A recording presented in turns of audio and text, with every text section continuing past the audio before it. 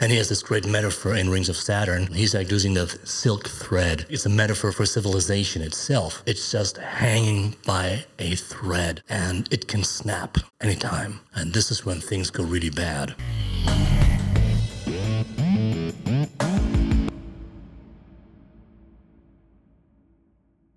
All right, welcome everybody to this new video. Today I'm going to talk about W.G. Sebald, Sebald, and I'm going to point out his major theme of his books.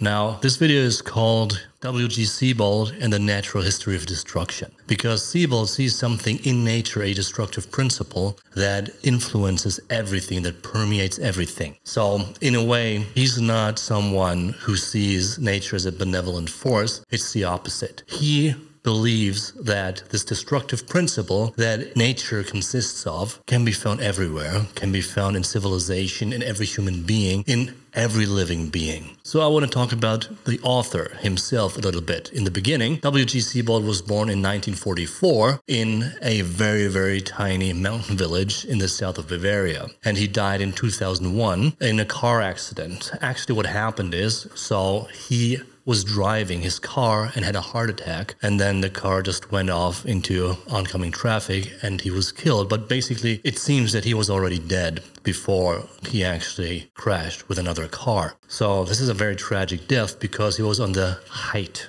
of his fame, and people were considering him to be the next Nobel Prize laureate. So, in a way, it's a real tragedy because his literature meant something to many people, and he was addressing problems that are of more essential and fundamental ontological nature, too. And so W.G. Sebald is an abbreviation, of course, and this W.G. are his first name and his middle name, Winfried Georg Sebald. Uh, he didn't like those names because, like Winfried, he always looked at it as kind of like a Nazi Germanic name. And actually, his close friends called him Max. So he was the most widely read author of the early 21st century, and he was especially well received in the English speaking world as kind of like a German good guy who's really facing the horrors of German history and is kind of like, like a German good conscience writer. Now, he's best known for these three books Austerlitz, Austerlitz was published in 2001, the year he died.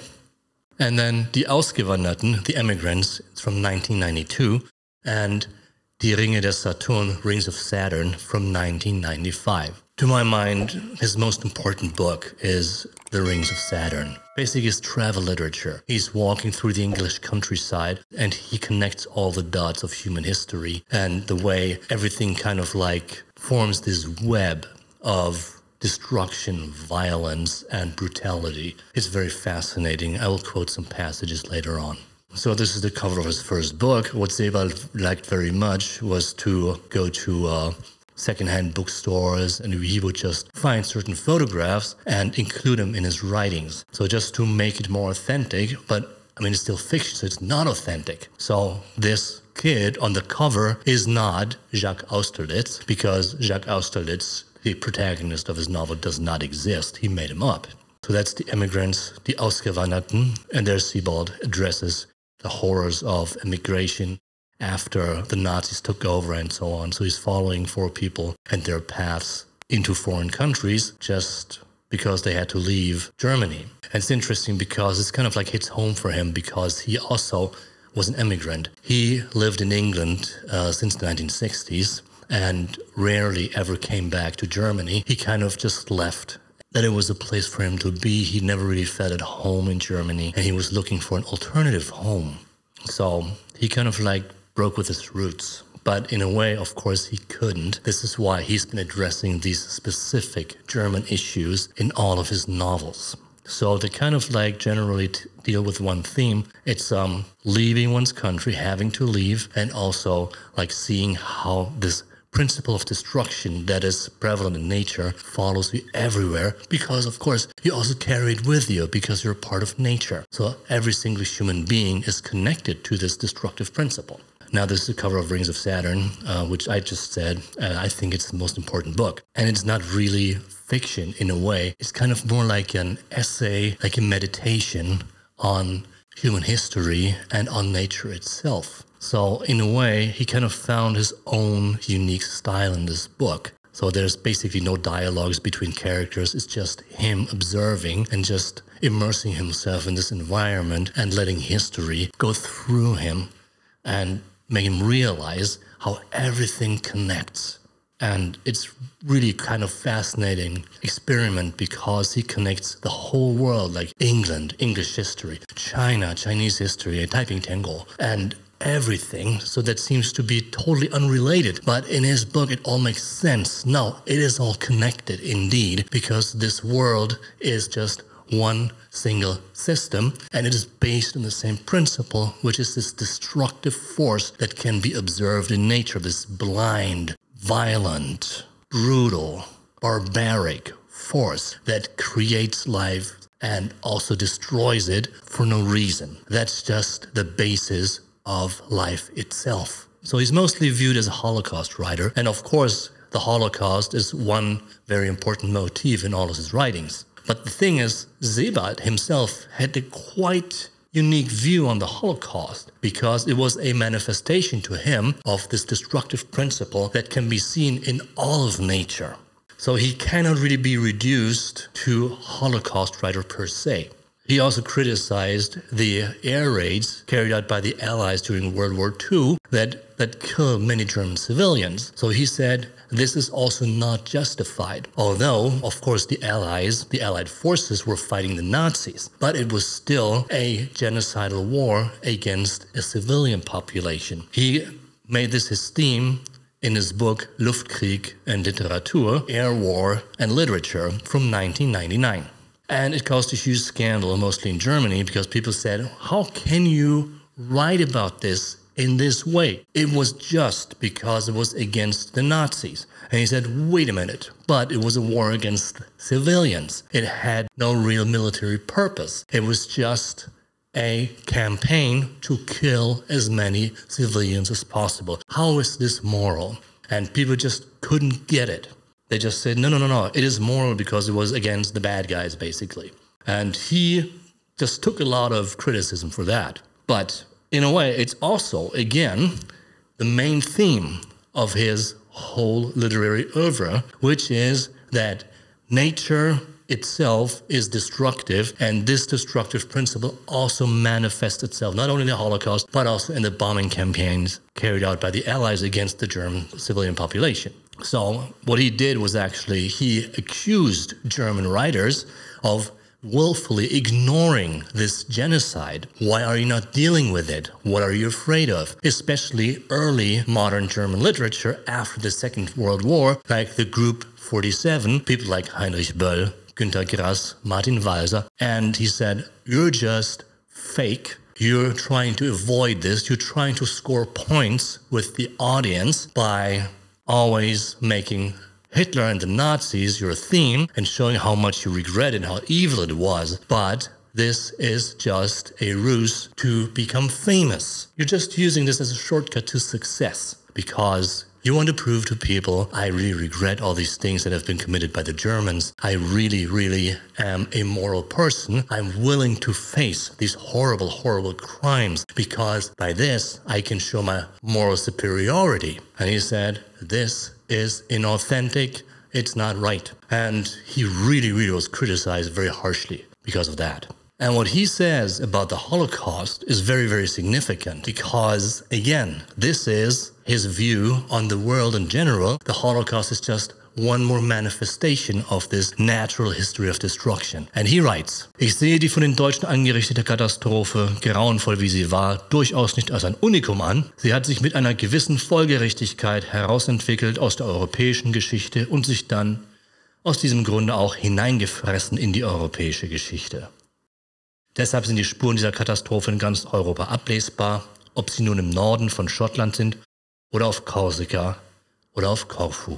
So he says, I do not see the catastrophe caused by the Germans, horrific as it was, as a unique event. It developed with a certain logicality from European history and then, for this reason, ate its way into European history.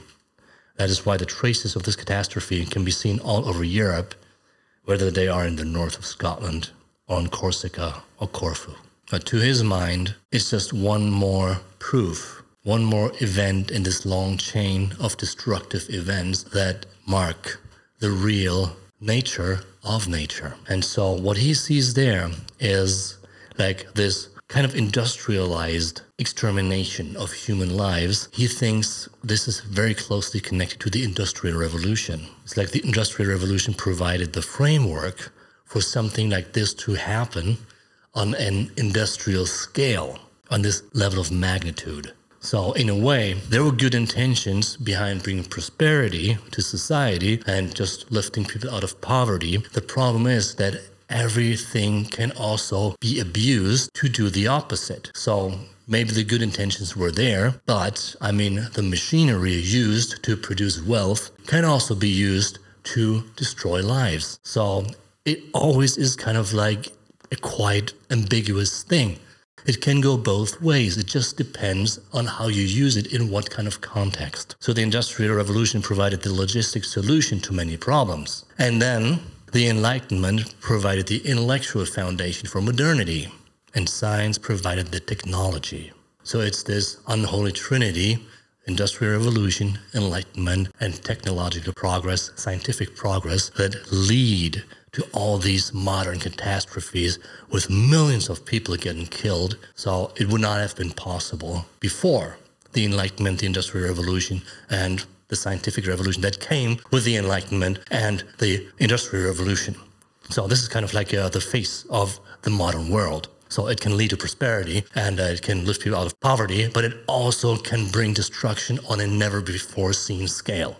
So these three parts of this unholy trinity themselves are not to blame in their individual dimension. But as a whole, when they get combined, they offer certain solutions to problems, but they also offer certain ways to bring more harm than good. So for Sebald, it's always like this construction, destruction, they go hand in hand. They're two sides of the same coin. So it can very quickly just go the other way. There's no guarantee that things are only used to do something positive. It can just go like this, you know, it, go, it goes sideways in a heartbeat. Yeah, who knows? And he has this great metaphor in Rings of Saturn. Um, he's like using the silk thread. Uh, it's like what do you kind of like? It's a metaphor for civilization itself that it's just hanging by a thread and it can snap, it can rip anytime. And this is when things go really bad. So this is also an image uh, in his book Austerlitz, and this is like the birth of new stars, new solar systems. And in a way, he describes the beauty of it. So it's something new being created out of chaos, but in a way, it's also there's also this uncanny kind of destructive principle at work because it's not going to be forever. It's going to disappear someday. So life itself, everything in this universe will not be eternal. It is going to fade. It's going to be annihilated by the forces of the universe, by the forces of nature. That's just the way this world, this universe is constructed. Sebald's project is to create a narrative of extinction and suffering, and these two principles form the basis of existence itself. Now, the problem is how do you depict these major catastrophes and individual suffering in literature? It poses some stylistic problems. And how does Sebald face these problems and master them and solve them in his own writings? So, this coexistence between suffering and major catastrophes is very important. He basically sees the macro level influencing the micro level. So it's this general to particular structure of the scenes he evokes in his writings. And in order to depict this, he uses the panoptic style. It's the panoptic schema, and he basically picks up Michel Foucault's panopticon. And uh, the panopticon itself provided prison guards with a 360 view of the prisoners. So everyone could be surveilled 24 hours a day. There was no way to evade the surveillance by the prison guards. No one had any privacy. Everything was seen all of the time all day long. So there was no way to escape the gaze of the authorities. And this is interesting because I've mentioned this in my first Hesse video. Mikhail Bakhtin, he talked about the role of the author and the position of the author, the place of the author, the location of the author in the novel. He's sitting in the center of the novel and has a 360 degree view of his materials. So he organizes everything and he is aware of all the parts he puts together. He's the organizing principle of his novel. And Sebald uses this to analyze history, all the catastrophes, civilization, nature, individual suffering, and all the brutalities and atrocities occurring in human history, and just to present them in this kind of like panorama of a 360 degree view on the world and the destructive principle that is kind of like underneath it, but permeates every single being of this world. So that's what he does in Rings of Saturn. He connects all the historical catastrophes in his prose by using this panoptic schema. So his novel takes him from the English countryside to the opium wars in China and the Belgian genocide in the Congo. So it's really fascinating that he just sees all these different catastrophes and atrocities in remote places still connected to this English countryside because everything kind of like manifests itself there too. So you can just go anywhere from there. And this is also because of the British Empire and it was everywhere. Although, of course, the Congo was a Belgian colony, but the atrocities committed there were really horrifying. And um, in the end, I think 20 million people were killed by the colonizers. So it's like a forgotten genocide. At the time, people actually were aware of it. And Many people criticize it.